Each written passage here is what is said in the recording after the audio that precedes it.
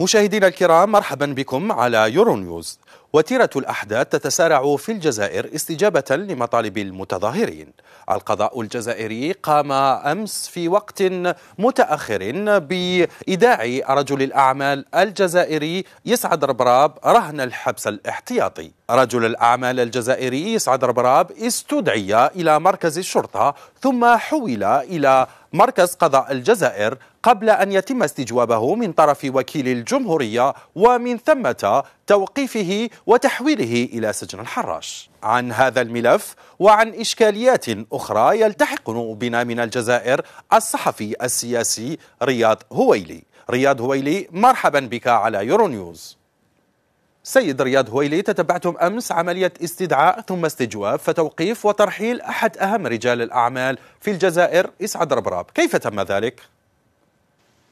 اولا تم ذلك في إطار آه، فتح تحقيقات من قبل آه، فصيلة الأبحاث للدرك الوطني على اثر خطاب الذي وجهه قائد الأركان الأسبوع الماضي حيث طلب من العدالة بفتح كل الملفات ملفات الفساد السابقة والآنية والتي والتي يعتقد أن فيها شبهة خاصة وأنه آه، هناك الكثير من الحديث عن قضايا متعلقة بالرشاوى واستغلال النفوذ واستغلال واستغلال يعني آه، أموال غير مستحقة ومزايا غير مستحقة. نعم. اذا تحركت فصيلة الأبحاث ووضعت قائمة لرجال أعمال وسياسيين أيضا بدا التحقيق في ملفاتهم. من بين هؤلاء كان رجل الأعمال يسعد ربراب آه، المدير العام لمجمع سبيطال وهو أهم وأكبر رجل أعمال في الجزائر. نعم كانت هناك أيضا حملة توقيفات في المؤسسة العسكرية. برأيكم من يقف وراء هذه الحملات؟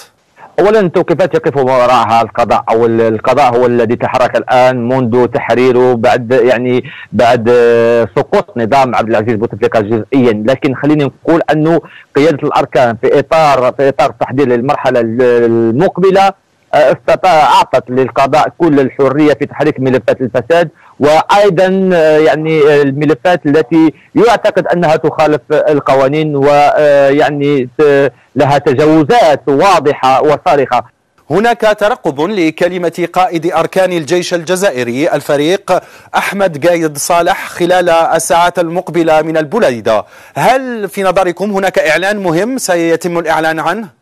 قد يكون ذلك بالنظر إلى السياقات السياسية التي والتطورات التي شهدتها شهدها شهدتها الجزائر في المدة الأخيرة على إثر استقاله رئيس المجلس الدستوري وأيضا قضايا الفساد التي فتحت على باب واسع لأنه اليوم قائمه طويلة جدا لرجال الأعمال الذين ينتظر التحقيق معهم في قضايا فساد وأيضا حتى عسكريين وربما حتى إعلاميين. يعني المسألة هو داخله في اطار في إطار يعني مشروع آه، للتحقيق في كل القضايا التي فتحت والتي يعتقد أن العدالة لم تكن بدورها في المرحلة السابقة تحت ضغط نظام عبد العزيز بوتفليقة.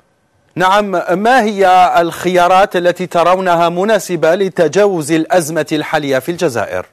الخيارات المطروحة الآن أنه على المست على المستعجل.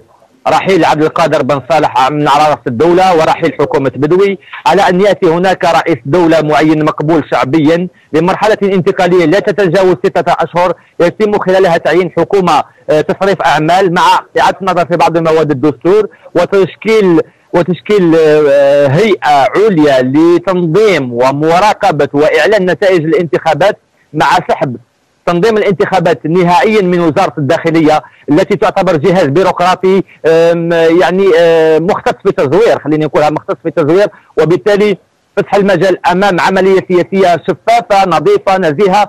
تفتح المجال أمام تكافؤ الفرص في المناسبات الانتخابية. نعم. وبالتالي تنظيم رئاسيات قبل نهاية السنة. شكرا لضيوفنا الكرام وشكرا لمتابعتكم. نلقاكم في عدد قادم وملف جديد.